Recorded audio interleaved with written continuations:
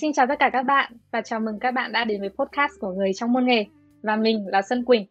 Nếu như các bạn là những người trẻ đang băn khoăn về việc chọn ngành, chọn nghề này và đang không biết là mình đang ở đâu ở trong cái thị trường lao động khốc liệt này thì số podcast ngày hôm nay chính là dành cho các bạn.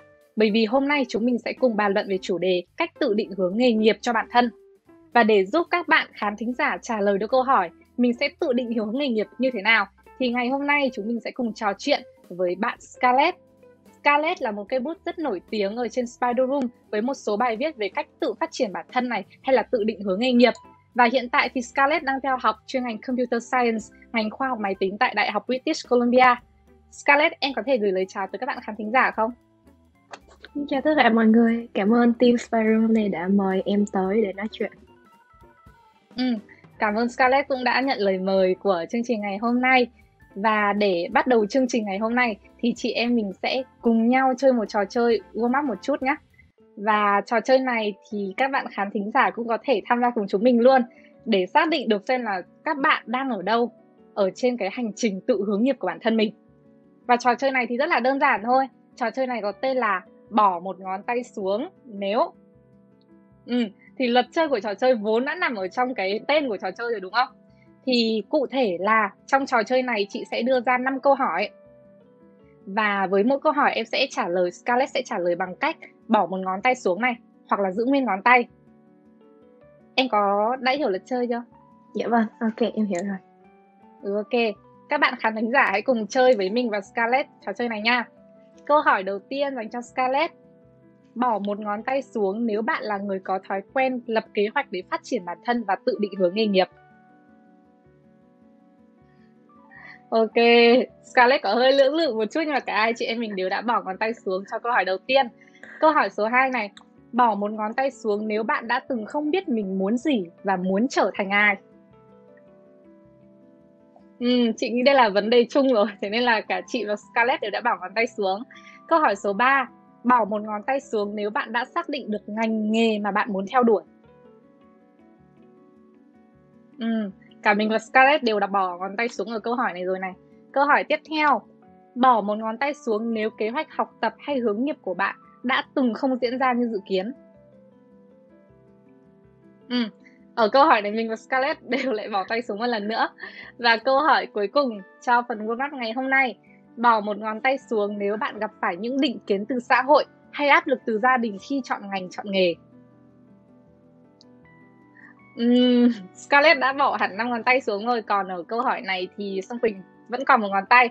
Các bạn khán thính giả thì sao ạ? Trong năm câu hỏi vừa rồi thì các bạn đã bỏ ngón tay xuống ở câu hỏi nào? Scarlett đã bỏ xuống cả năm ngón này. Còn mình thì uh, chỉ còn lại một ngón cuối cùng thôi. À, và chị mong là trong cái trò chơi này sau trò chơi này thì chị em mình đã hiểu nhau hơn một chút này. Và các bạn khán thính giả cũng đã hiểu hơn một chút về cái hành trình tự hướng nghiệp của Scarlett.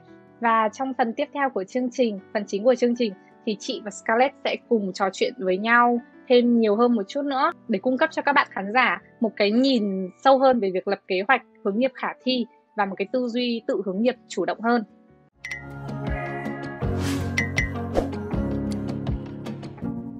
Câu hỏi đầu tiên gửi tới Scarlett đó là uh, em bắt đầu quan tâm về việc tự lập kế hoạch để hướng nghiệp cho bản thân từ bao giờ? Uhm, khi mà nhà em cùng mình cư qua Canada vào hồi em lớp 8 thì lúc đấy ừ. nhà em khá là khó khăn bố mẹ em qua đây hầu như là làm lại từ đầu hết. Nên là ở nhà bố mẹ hầu như em không có ở nhà và sau đó em với anh em thì đi học tới trường thôi. Thì tụi em bắt đầu đi làm từ năm lớp 9 thì từ đấy em lúc đấy thì chỉ mới là làm những việc gọi là part time mà chân tay thôi. À, đi phục vụ cà phê rồi phục vụ nước uống cho khách hàng và làm tầm được một năm thì em cảm thấy là ô mình không phù hợp với công việc này lắm. Và có lẽ là đây cũng phải là không phải là công việc mình sẽ làm trong gọi là 4 5 năm tới trong lúc mà học đại học. Nên là em mới bước ra để em đi volunteer này. Và em gặp gỡ những người khác nhau ở nhiều sự kiện khác nhau để em hỏi họ xem là ờ, những cái đam mê những cái sở thích của họ là gì. Và nó có liên quan tới cái chuyên ngành mà họ học trong đại học hay không thì ừ. sau khi mà nói chuyện với rất nhiều người thì em thấy là cũng rất nhiều người có câu hỏi như em cũng hoang mang cũng gọi là ờ không biết định hướng của mình như thế nào cũng không biết là ờ cái chuyên ngành đại học của mình nó có thật sự nó phù hợp với mình hay không. Có những người đã học chuyên ngành hai ba chuyên ngành khác nhau rồi nhưng mà vẫn chưa tìm ra được định hướng phù hợp. Hoặc là có những người đã học xong đại học đã tốt nghiệp rồi đã làm công việc mà họ gọi là cũng được hai ba năm rồi nhưng mà họ cảm thấy vẫn khá là hoang mang với cuộc sống của họ thì em cảm thấy là ờ cái này không ổn lắm cái này chắc là hỏi nhiều quá thì cũng không xong. Thì đằng nào cũng mình không biết vậy thì tự tìm hiểu cho xong vậy. Thì sau đấy em bắt đầu gọi là tự mày mò những cái ngành mà em cảm thấy hứng thú rồi sau đó thử tất cả những loại mà em cảm thấy là uh, có thể là mình hứng thú hoặc là có thể là mình ghét. Thì thử ra sau một năm rưỡi hai năm thì cuối cùng em cũng chọn được ngành software engineering. Scarlett uh, có nói về việc là mình phải thử rất nhiều thứ này thì mình mới biết là mình thích gì mình ghét gì. Vậy thì Scarlett có thể chia sẻ cho các bạn khán thính giả biết là trước khi mà em chọn được ngành khoa học máy tính thì em đã thử những gì không? Các em đã trải nghiệm những gì để tìm ra được cái lựa chọn phù hợp nhất cho mình? Dạ vâng.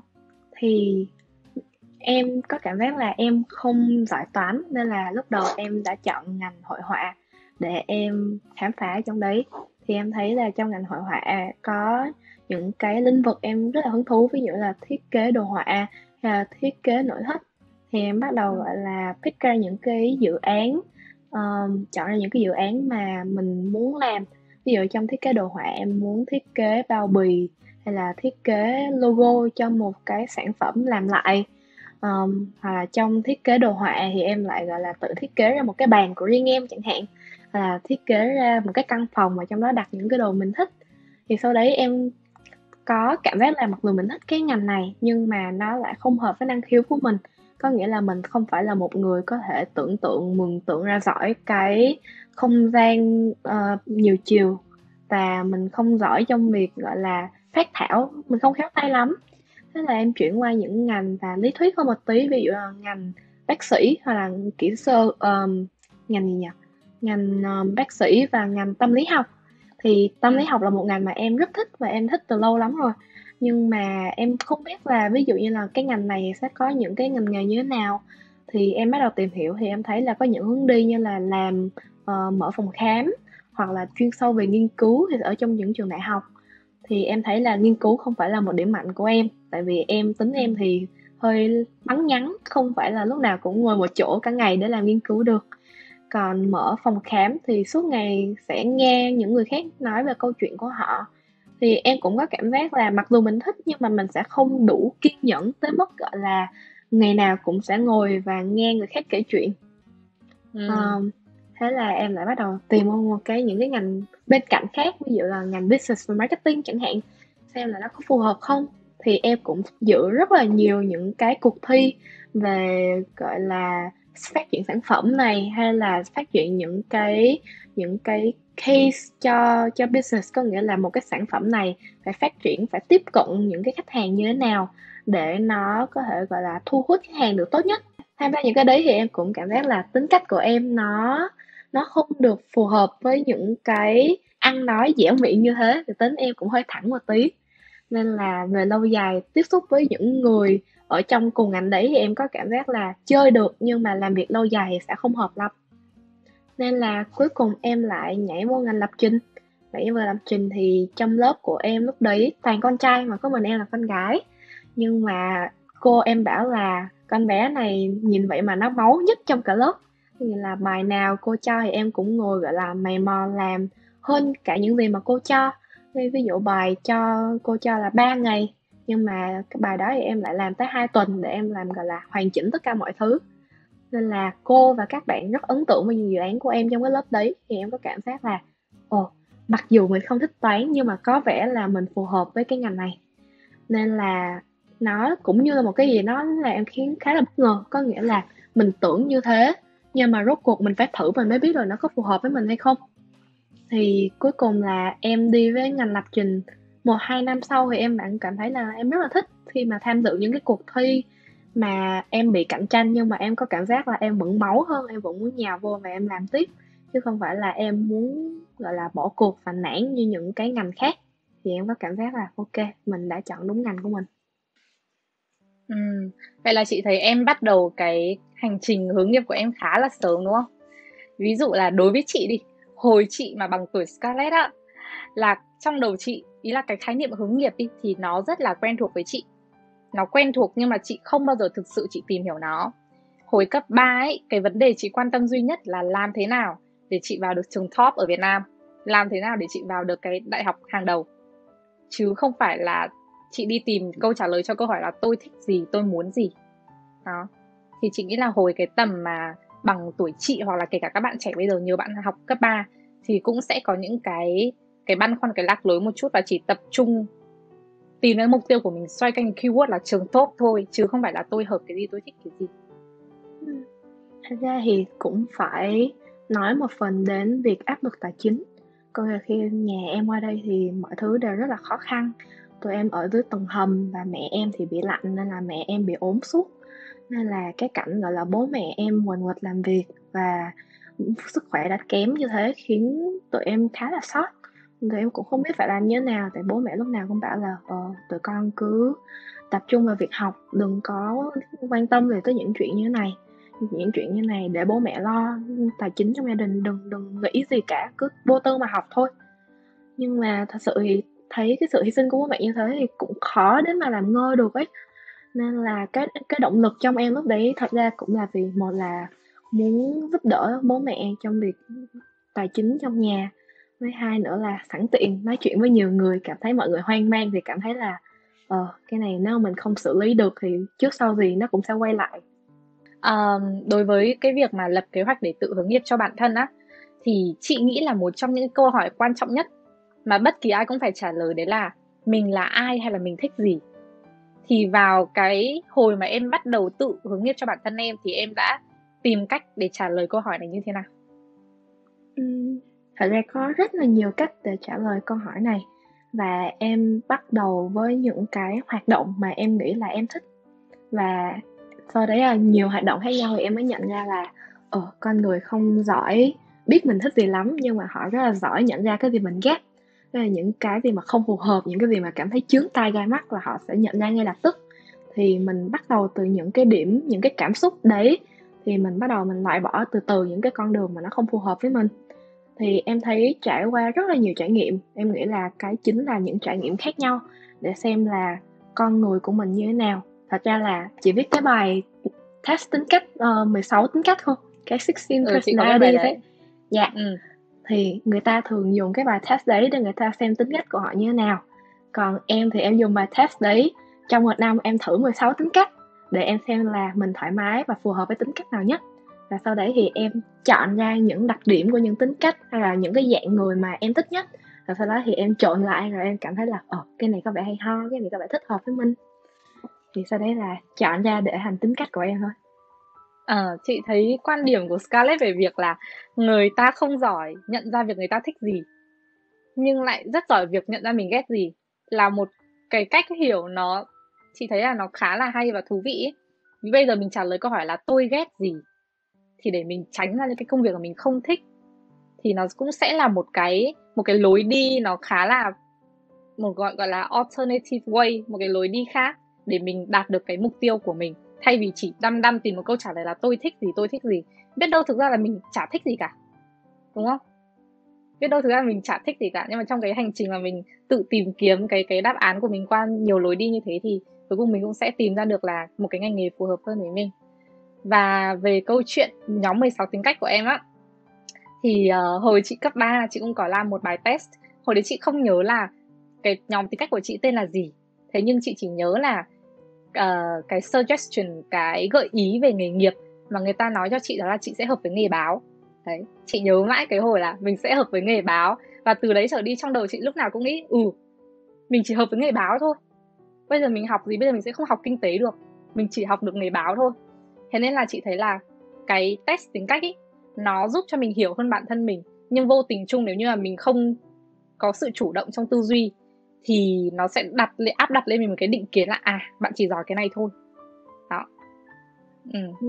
thì đấy cũng là chị nghĩ là một lời khuyên cho các bạn nếu như mà có định làm test tính cách thì hãy coi đó là một cái bài tham khảo thôi chứ không nên coi nó là một cái kim chỉ nam cho mình để mình đạt cái mục tiêu của mình ha ừ.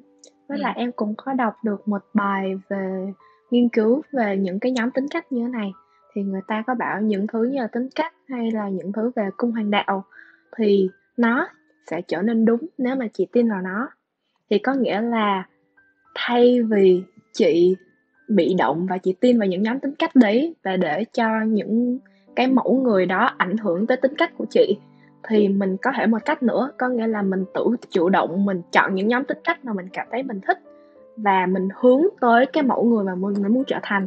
Thì thay vì mình bị động, mình nằm trong một cái khuôn khổ nào đấy, thì mình có thể tự tạo ra một cái nhóm tính cách của riêng mình mình thích như thế nào, cảm thấy phù hợp, mình thoải mái, mình muốn hướng tới như thế nào, thì mình tự tạo ra rồi sau đó mình chủ động mình hướng tới cái đấy. Thì một lúc nào đấy nó sẽ tự trở thành sự thật. Ừ ừ cái uh, quan điểm của em vừa rồi cái cái quan điểm về uh, tâm lý vừa rồi ấy, là nếu như là mình tin mình là ai thì mình sẽ có xu hướng trở thành người đấy. Ừ. thì chị được biết đến nó với một khái niệm trong tâm lý học tên là self fulfilling prophecy.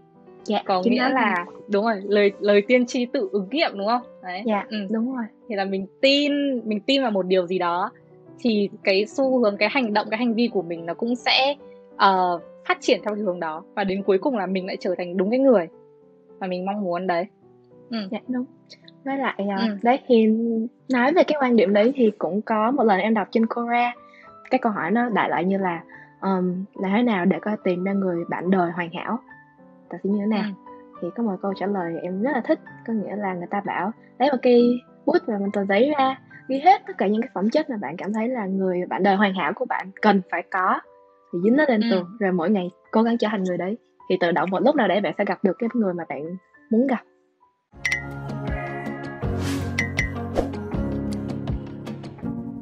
Cảm ơn Scarlett về những chia sẻ vừa rồi và chị nghĩ là qua cái phần trò chuyện vừa rồi chị em mình thì chắc chắn là các bạn khán thính giả đã có một cái hình dung rõ ràng hơn về việc là mình nên bắt đầu cái hành trình tự hướng nghiệp của mình là gì. Trước hết là mình có thể tự đặt ra hai câu hỏi này, một là tôi thích gì hoặc là tôi ghét gì. Có cả hai hướng đi và đều có thể dẫn tới một cái mục đích mà các bạn ấy mong muốn. Và câu hỏi tiếp theo chị dành cho Scarlett đó là theo em thì một cái kế hoạch để phát triển bản thân đi hay là một kế hoạch hướng nghiệp thì nên bao gồm những bước cơ bản nào hoặc là có một cái quy trình cụ thể hoặc cơ bản nào cho cái hành trình hướng nghiệp không? Ừ, thật ra cái việc gọi là hướng nghiệp thì nó sẽ quay quanh những cái câu hỏi là bạn giỏi gì, bạn thích gì và xã hội cần gì. Thì đây là ba câu hỏi gọi là mục tiêu mà mình sẽ phải trả lời trong cái hành trình của mình đi. Nhưng mà nó chỉ hơi giống kiểu kim chỉ nam thôi có nghĩa là một lúc nào đấy trong hành trình mà bạn tự khám phá tự trải nghiệm thì bạn sẽ có câu trả lời. Có thể câu trả lời đó sẽ thay đổi nhưng mà câu trả lời ở một cái thời điểm nào đấy nó sẽ phù hợp với bạn. Thì có nghĩa là em cảm thấy nên bắt đầu bằng những việc là bước ra khỏi cái vùng an toàn của mình giống như em hồi đấy lúc mà em lớp 8, lớp 9 em có cảm giác là nếu mà mình đi học mỗi ngày mình gặp những con người có những cái tư duy giống mình có những cái suy nghĩ giống mình thì mình đang nằm ở trong một cái khuôn khổ và nó sẽ không thay đổi được cái tư duy của mình. Nếu mà mình muốn bước ra khỏi cái khuôn khổ cái gọi là cái cái vùng an toàn của bản thân thì mình phải ra ngoài đi những cái nơi mà mình chưa đến thử những trải nghiệm mà mình chưa có và gặp những người mình chưa biết.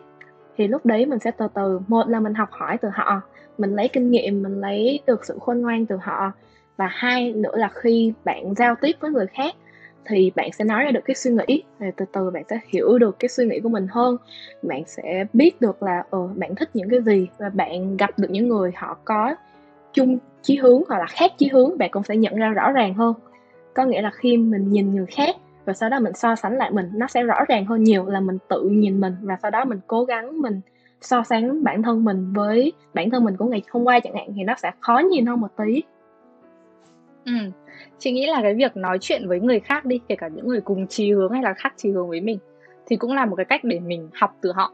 Bây giờ ví dụ là họ có những cái thất bại đi, bây giờ thay vì là mình tự mình mình đi mình trải qua những cái thất bại đấy chẳng hạn, thì mình học hỏi từ người ta, mình tránh những cái thất bại đấy đi, để cho cái hành trình của mình nó bớt đi cái sự gian nan, bớt đi cái áp lực và mình sẽ đến được với cái mục tiêu nghề nghiệp của mình tốt hơn. Ờm, ví dụ đối với chị đi, khi mà chị tự hướng nghiệp cho bản thân á, thì uh, chị có đi theo một cái khái niệm đấy là khái niệm ikigai của Nhật. À. Em có đã nghe qua khái niệm này bao giờ chưa? Dạ có, em có biết. Ừm, thì Ikigai trong tiếng Việt có thể tạm dịch là lẽ sống uh, thì cái khái niệm này người ta gợi ý về cái cách mà mình có thể tìm được mục đích sống của mình bằng cách là tìm ra cái sự cân bằng giữa bốn yếu tố. Yếu tố đầu tiên đấy là bạn thích gì? Bạn yếu tố thứ hai là bạn giỏi cái gì? Yếu tố thứ ba là thế giới cần cái gì? Và yếu tố cuối cùng là bạn có thể được trả tiền để làm cái gì? Bạn có thể kiếm được tiền từ cái gì? Đó thì chị nghĩ là cái điểm giao hòa cái điểm chung của bốn yếu tố này nó cũng là một cách để mà mình dung hòa được cái cái cái cái năng lực của mình này, cái hướng đi của mình này và mình cần học cái gì để mình đáp ứng được cái nhu cầu của cái thị trường lao động bây giờ. Dạ. Thì cái hành trình của Scarlett có điểm tương đồng nào về cái khái niệm Ikigai này không? Ừm, thật ra em có một cái quy luật cho bản thân, có nghĩa là ừ thật ra là cái cái quy luật này cũng cho bản thân nó cũng phù hợp với những việc như là phỏng vấn hay là tìm việc hay là tìm ra được cái sở thích đam mê của mình. Có nghĩa là khi mà chị có một trải nghiệm nào đấy chị có chị phải nghĩ là chị có hứng khởi khi chị kể chuyện đấy với người khác hay không? Có nghĩa là cái câu chuyện đấy nó có điểm nhấn hay không? Nó có gọi là những lúc gọi là thăng trầm hay không? Ờ, nhân vật chính là ai? Và những cái chuyện những cái khó khăn mà chị trải qua là cái gì? Thì khi mà mình tập hợp được những cái khả năng gọi là kể chuyện cách gọi là giao tiếp và cách gọi là um, sao nhỉ?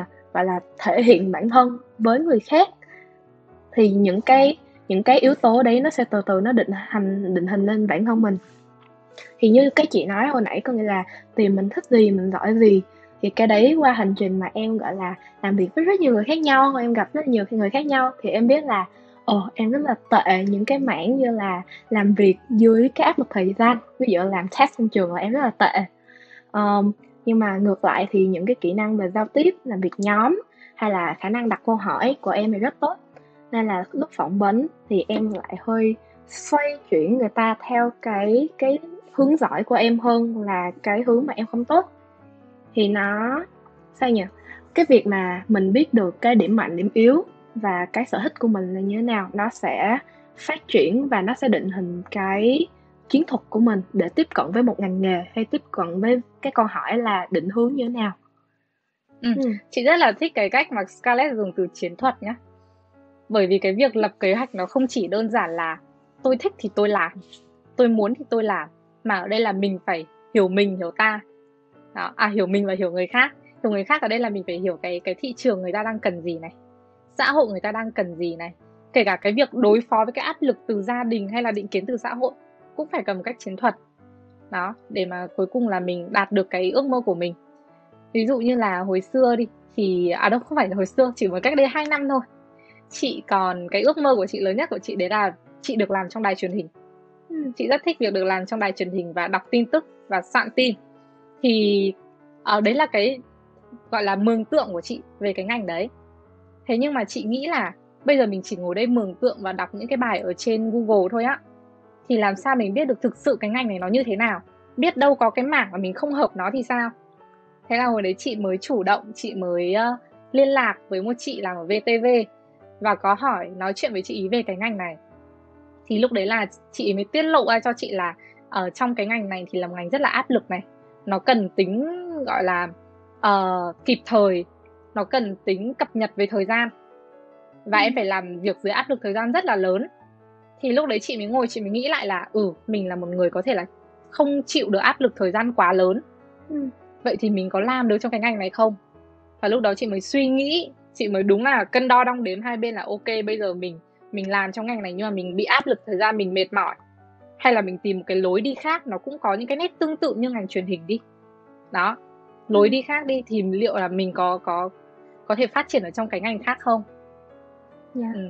thì chị nghĩ là cái việc nói chuyện với người khác nó thực sự là giúp cho mình vỡ ra rất là nhiều thứ mình hiểu ra rất nhiều thứ dạ đúng ừ. rồi với lại em thấy có một quy tắc nữa cũng khá là hay có nghĩa là khi mà mình cảm thấy mình phân vân hay mình sợ thì mình đừng yên nữa mình dẹp hết và mình làm cái là phải làm cái đã mình phải thử làm mình mới biết là ồ cái này nó có đáng sợ như người ta hay nói không hay là cái này nó có gọi là hào nhoáng người ta vẫn hay đồn đại trên báo chí hay không? Thì những cái đó nó qua cái quan điểm của người ta rồi nó sẽ rất khác với cái thế giới quan của mình. Và nhiều khi cái quan điểm của người ta nó bị phóng đại lên cho một những mục đích cá nhân. Nên là mình sẽ không bao giờ mình biết được cái cái quan điểm đấy nó có phù hợp nó với lại cái quan điểm sống của mình hay không nếu mà mình chưa thử. Um, trong cái hành trình tự hướng nghiệp bản thân đi ví dụ đối với chị khi mà chị bắt đầu lập một cái kế hoạch hướng nghiệp nha là lúc nào chị cũng sẽ mường tượng là ôi đến cái lúc mình đạt được cái kế hoạch này rồi thì nó tuyệt vời đến mức nào. Thế nhưng mà trong cái luồng suy nghĩ đấy của chị đang rất vui nghĩ về cái việc mình đạt được mục đích rồi đi. Thì một câu hỏi đặt ra trong đầu chị là thế bây giờ mà kế hoạch của mình không đúng như kế hoạch thì sao? Bây giờ mà có một yếu tố tác động vào nó và khiến cho một cái bước một cái uh, hành trình của mình nó bị lệch hướng thì mình phải làm như thế nào? Thì chị nghĩ đây cũng là một cái băn khoăn suy nghĩ của rất nhiều bạn khán thính giả đặc biệt là các bạn trẻ đang quan tâm tới việc hướng nghiệp đó là mình lập kế hoạch để làm gì nếu như kế hoạch chẳng bao giờ theo đúng kế hoạch thì Scarlett sẽ trả lời câu hỏi này như thế nào? Uhm, có một cái em hay nghĩ trong đầu có nghĩa là đối với bất kỳ kế hoạch nào cũng vậy mình nên có tư duy là high effort low expectation như là ừ. mình cố gắng nhiều nhưng mà đừng đặt nhiều kỳ vọng vào đấy nó sẽ khó, tại vì thường theo cái hướng tự nhiên của con người khi mà người ta đổ rất nhiều công sức và thời gian vào một cái gì đấy, thì thường cái kỳ vọng của họ theo cái công việc đấy nó sẽ đi lên.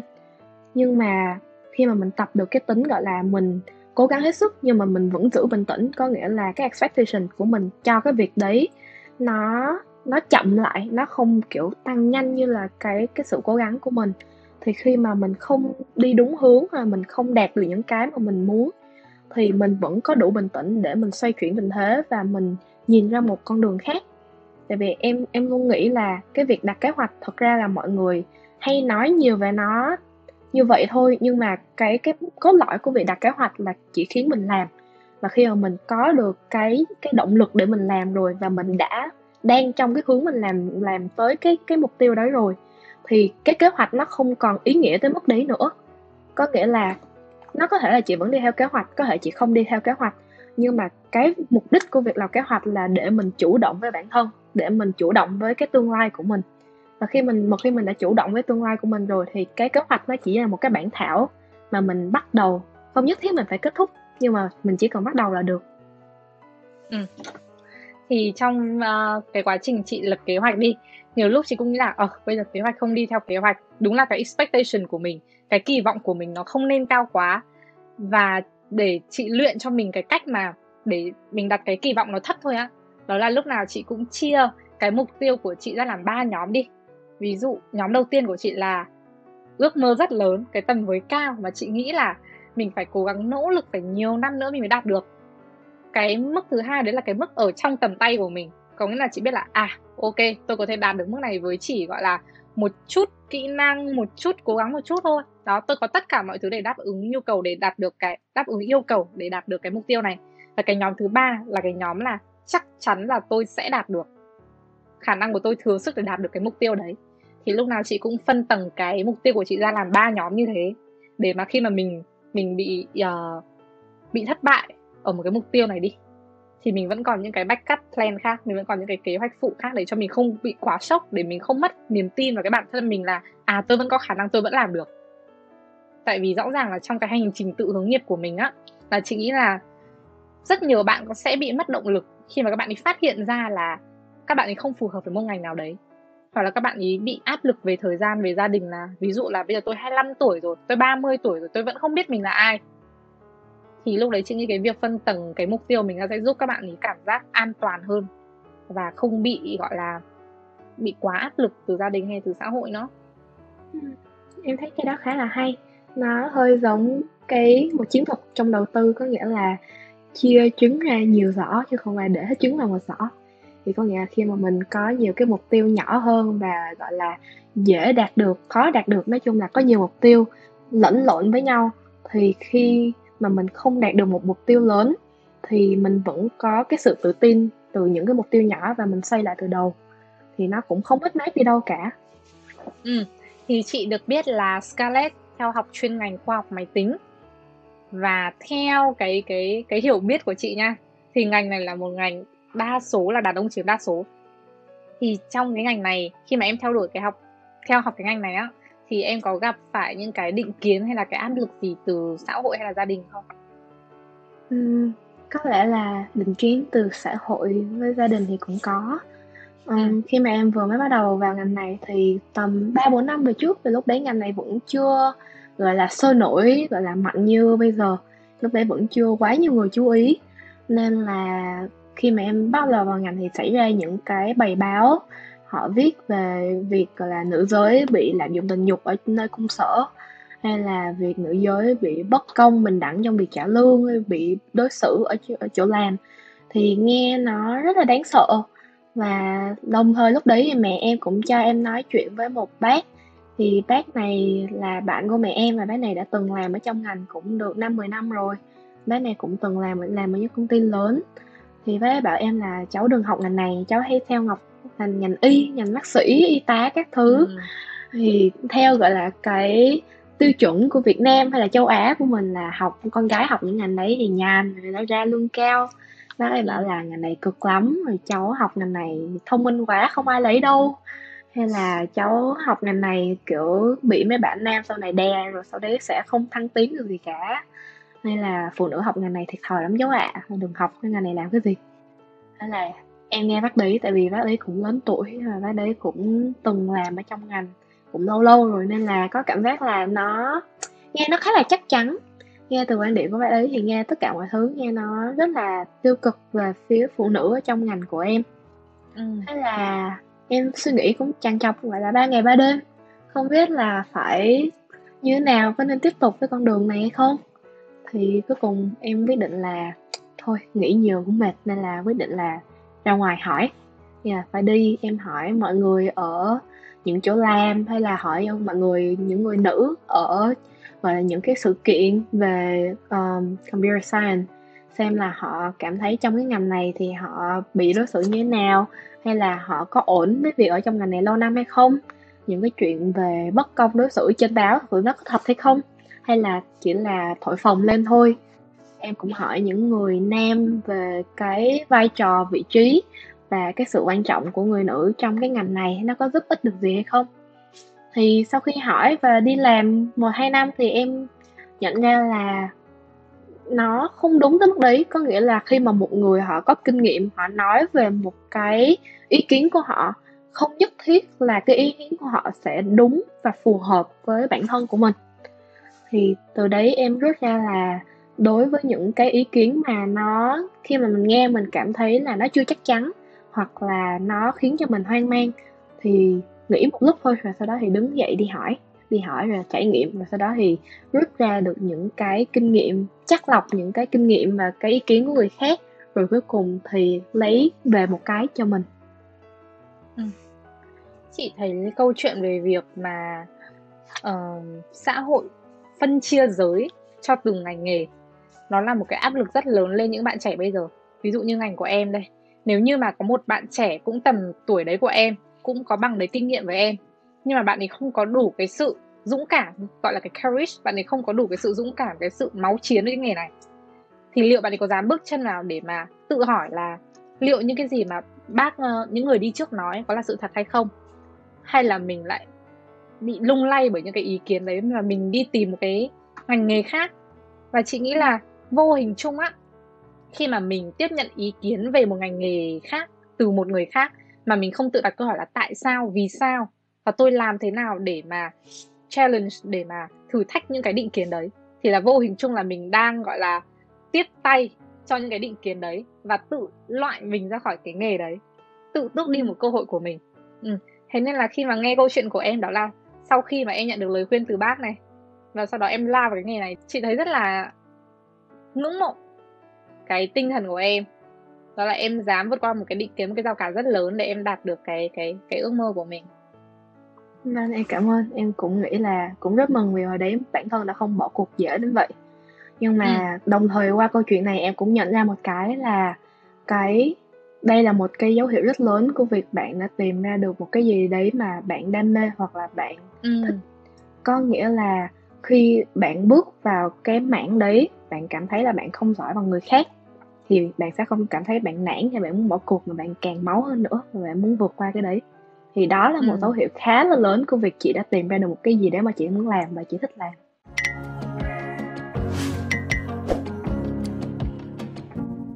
Ờ, thì qua phần nói chuyện vừa rồi, chị mong là câu chuyện của chị Scarlett chia sẻ với nhau thì cũng đã giúp các bạn khán thính giả có được một cái nhìn sâu hơn về cách là mình hướng nghiệp như thế nào này, rồi là cái tư duy hướng nghiệp của mình nó nên được định hình như thế nào để mình không bị áp lực từ gia đình và xã hội và khiến cho cái hành trình hướng nghiệp của mình nó bị lệch hướng đi.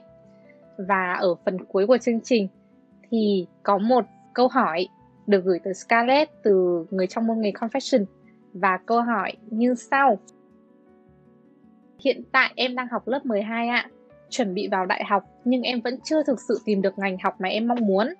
Em không thích học toán nhưng mà học kinh tế thì sẽ dễ tìm việc làm hơn. Mọi người có thể cho em ít lời khuyên về việc chọn ngành được không ạ? Thì Scarlett có thể giúp bạn trẻ này giải tỏa những cái bâng khuâng những cái thắc mắc của mình bằng cách trả lời câu hỏi này không? Ừm, em thấy là bạn đã nhận ra được bạn ghét cái gì rồi kìa, có nghĩa là không thích học toán. Ừm. Thì Ừm. có thể là bỏ qua những môn có thể là liên quan tới logic một tí thì có vẻ là bạn không thích lắm. Và liên quan tới kinh tế thì bạn lại đang nghĩ tới việc, gọi là, thu nhập thì nó lại không liên quan lắm. Tại vì em nghĩ là ví dụ nếu mà chị cứ hướng tới cái đồng lương trong một ngành mà chị lại không có cảm giác hay không có hứng thú gì với lại cái ngành đấy thì em có cảm giác về lâu dài bạn ấy sẽ bị gọi là mất hứng thú và không còn gọi là có muốn gắn kết với cái ngành đó nữa. Nên là khi mà mình quan tâm tới ngành thì đồng tiền nó là sẽ một thứ theo sau nếu mà mình thật sự mình thích cái ngành đấy. Đồng tiền nó sẽ tự động nó theo sau thì trước sau gì nó cũng sẽ theo. Nên là đừng lấy nó làm cái yếu tố lên đầu khi mà mình chọn cái ngành của cho mình. Thì theo chị thấy chị cũng chưa biết được nhiều thông tin lắm từ cái cái thông tin mà cô bạn này đưa ra. Nên là um, có cảm giác là bạn này sẽ phù hợp hơn với những ngành của xã hội à. Thì mình sẽ bắt đầu, có thể mình bắt đầu từ đấy. Cứ là tìm hiểu những ngành xã hội, xem là có những ngành gì trong đấy. Và có cái mục nào mà cảm thấy là hứng thú hay là bạn muốn tìm hiểu kỹ hơn không? Và từ đấy mình sẽ dành ra, gọi là, một tới hai tuần để mình làm một dự án nhỏ cho cái ngành đấy. Thì mình sẽ tìm hiểu xem là cái ngành đấy có những dự án như thế nào và mình lấy ra một cái dự án mình cảm thấy hứng thú và mình làm thử. Xem là cái quy trình cái uh, cái cách làm hay là cái tư duy trong ngành đấy nó có phù hợp với mình hay không. Nếu thích thì mình đào sâu hơn còn nếu không thì mình là tiếp tục mình chuyển qua những ngành bên cạnh những ngành mà mình cảm thấy là cũng hay hay nhưng mà chưa rõ lắm như thế nào. Ừ. vậy là lời khuyên của Scarlett dành cho bạn là hiện tại mình còn trẻ thì hãy tạm thời bỏ cái câu chuyện tiền bạc qua một bên nếu như mới là học sinh lớp 12 thôi thì chị nghĩ điều quan trọng nhất đấy là phải xác định là mình thích thì mình mới học được. Chứ còn thực ra mà kiểu ngày nào cũng đi học mà ngập trong toán rồi là chán trường rồi không hiểu giáo viên nói gì thì làm sao mà học? Lúc đấy học không vào rồi thì chị nghĩ là cái việc mà mình tìm kiếm một cái nghề nghiệp liên quan là cũng rất là khó. Ừ. đó. Thì tốt nhất thì... bây giờ là ừ, tập trung vào cái việc là mình thích cái gì đã mình ghét cái gì đã. Dạ đúng rồi với lại ừ. cho những cái em em có cảm giác là cho những bạn mà đang chú ý khá là nhiều tới đồng tiền thì các bạn sẽ phải hình dung như thế này có nghĩa là bạn thà là top 1 hay là top 10% trong cái ngành mà bạn rất thích và bạn kiếm rất nhiều tiền dù cái ngành đấy kiếm ừ. tiền không ít ý là kiếm tiền ít so với mặt bằng chung hay là bạn đi theo một cái ngành mà mặt bằng chung kiếm tiền nhiều nhưng mà bạn không cạnh tranh nổi với những người mà thật sự có đam mê và bạn lọt xuống ừ. top 10% dưới cùng thì lúc đấy cái thu nhập của bạn không chắc là sẽ chênh lệch nhiều so với cái nhóm thu nhập ít nên là ừ. đừng nhìn con số với ánh mắt quá quan trọng ở thời điểm này mà tập trung vào bản thân nhiều hơn và đồng tiền là thứ sẽ đi theo sau nếu mà bạn biết ưu tiên đúng cái ừ. À, rất là cảm ơn câu trả lời của Scarlett dành cho bạn trẻ với uh, Confession vừa rồi và đây cũng là lời kết của Xuân Quỳnh và Scarlett gửi tới các bạn đang nghe số podcast ngày hôm nay. Cảm ơn Scarlett đã đến với chương trình.